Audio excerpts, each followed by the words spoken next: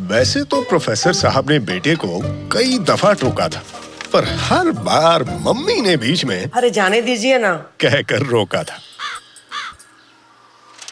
तो आज जो मम्मी निकली मंदिर सोचा सुनहरा मौका है प्रोफेसर ने पूछ ही डाला। आगे का क्या सोचा है?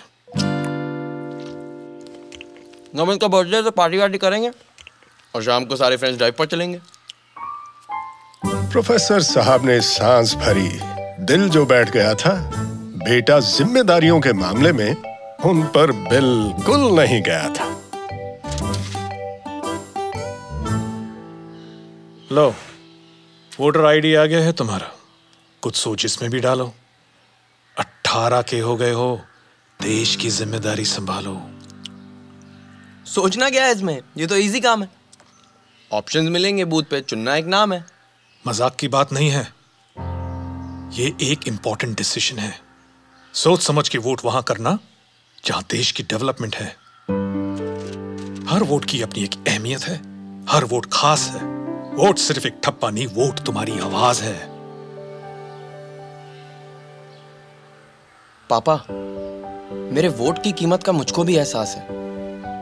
आपको मुझ पर हो ना हो, मुझे देश पे विश्वास है। सोच लिया है। तय किया है, वोट कहाँ जाएगा? जानता हूँ इस तरक्की की रफ्तार को कौन निभाएगा। वोट करूँगा एक सच्चे लीडर को, जो करते हैं खत्म करप्शन को, जिनकी स्ट्रॉन्ग लीडरशिप में इंडिया का नाम रोशन हो।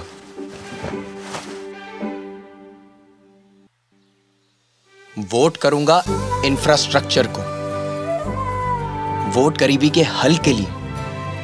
वोट करूँगा डेवलपमेंट को, वोट एक बेटर कल के लिए। तो अब की बार फिर मोदी सरकार।